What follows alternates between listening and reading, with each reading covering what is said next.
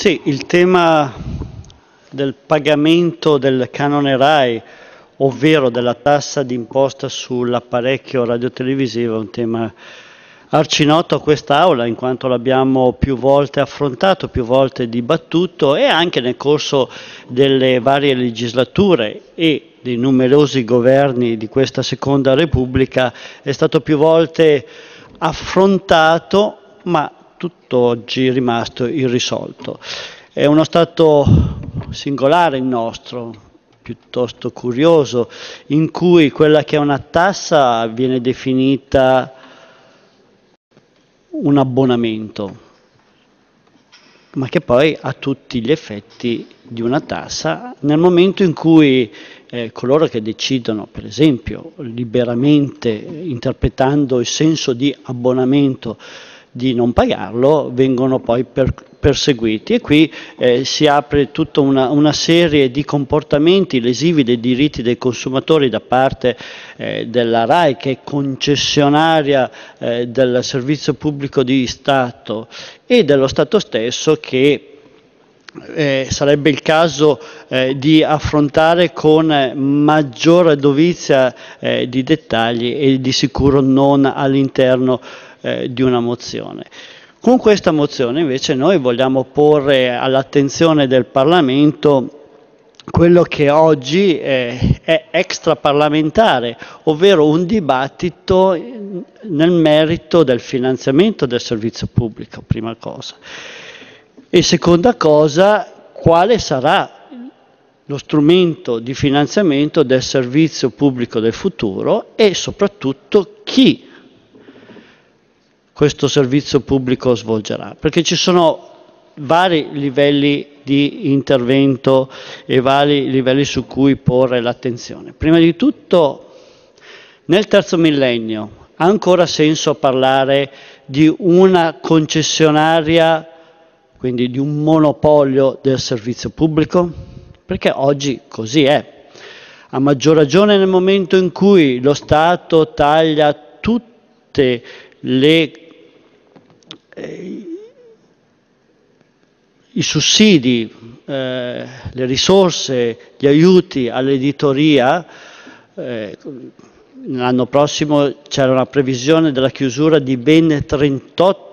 318 eh, testate tra quotidiani e periodici proprio a causa del drastico taglio di fatto l'azzeramento eh, dei contributi all'editoria eh, cooperativa di fronte a un continuo taglio dei contributi per l'emittenza locale.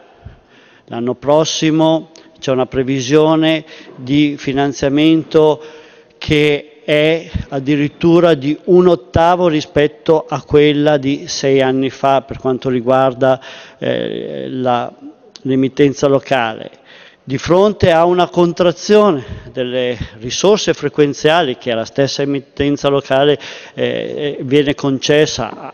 a favore invece eh, degli operatori delle telecomunicazioni. Di fronte quindi a un quadro in cui c'è un ristringimento della contribuzione, dell'aiuto, del supporto dello Stato all'editoria a 360 gradi, quindi al pluralismo e al mantenimento di quella che è una tipica ricchezza del nostro Paese, di fronte a tutto ciò siamo al rifinanziamento, l'ennesimo, attraverso eh, uno strumento eh, surrettizio, perché abbiamo visto che l'abbonamento non è altro che eh, un diverso modo di chiamare un finanziamento, un aiuto di Stato a un concessionario eh, pubblico di servizio eh, pubblico radiotelevisiva, ecco, di fronte a tutto ciò che senso ha avere un monopolista? Che senso ha dare tutte le risorse oggi disponibili per il servizio pubblico e l'informazione, ovvero 1,7 miliardi di euro, a un solo soggetto? Soggetto che poi noi sappiamo benissimo, eh, dire, non interpreta nel migliore modo eh, questo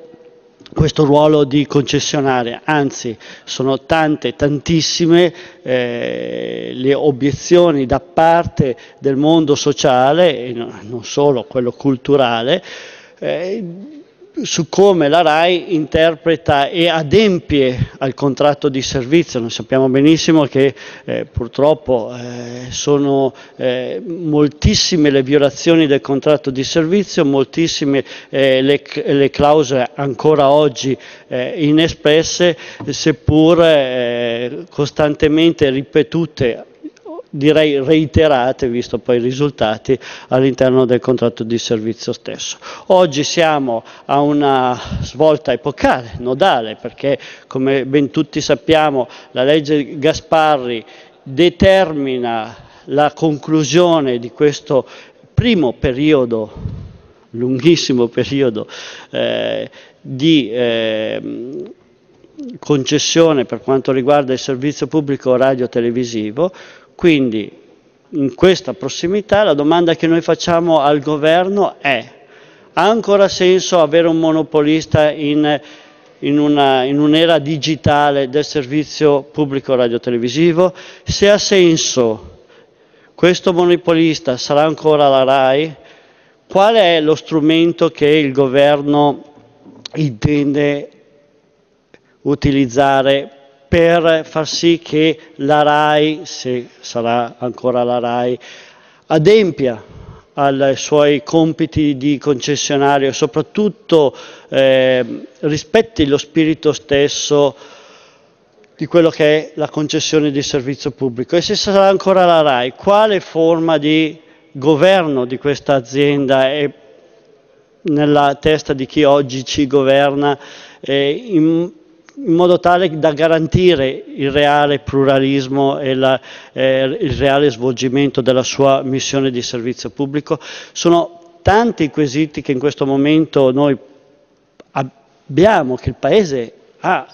pone a, a chi è chiamato a ridisegnare l'intero sistema, in quanto, in quanto noi siamo convinti per esempio che si debba fare qualcosa di più e di diverso da quello che ci siamo fino ad oggi abituati a fare, governi di centrodestra e governi di centrosinistra, ovvero eh, contrattare eh, il, le forme di servizio pubblico eh, con chi ne è monopolista,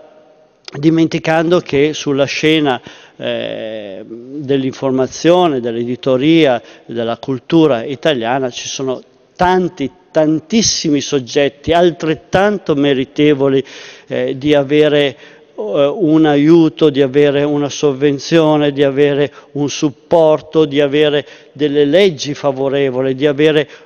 un ambiente in cui sviluppare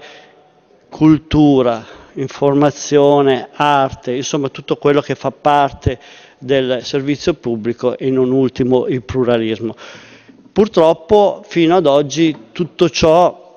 non è stato, anzi peggio eh, fino ad oggi, eh, in, soprattutto in questi ultimi periodi,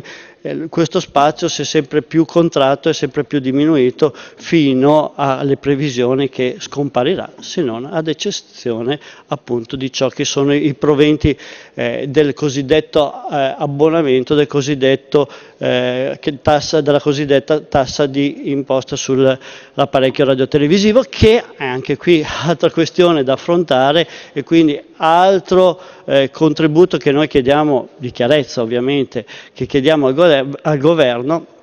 che ne sarà di questa imposta, come la, eh,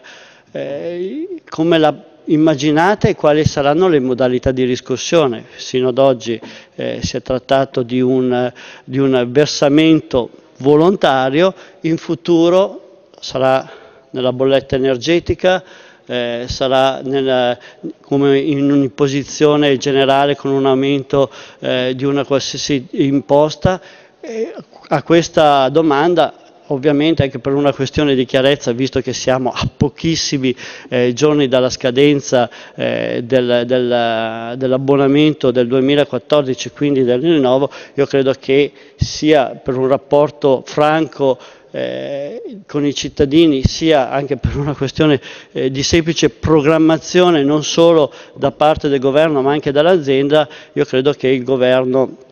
anche qui la maggioranza, anche qui debba dare eh, delle certezze, deve dare delle, delle risposte. Allora, i temi sono tanti e noi ne affrontiamo in, ne affrontiamo in parte in questa, eh, in questa, mozione che evidentemente eh, è articolata ma non può coprire eh, lo, lo, scibile in un momento appunto di grandissima trasformazione eh, dal punto di vista eh, di quello che è tutto il panorama dell'informazione del Paese. E allora qui stiamo a chiedervi come eh, intendete agire e questa mozione indica una strada da percorrere ovviamente eh, in tema di chiarezza di eh, rapporto tra cittadino e lo Stato, tra il cittadino contribuente e lo Stato esattore in questo caso e soprattutto eh, è un'occasione, l'ulteriore occasione per capire qual è l'orientamento di questo governo in una materia fondamentale, nevralgica per quanto riguarda la democrazia del Paese.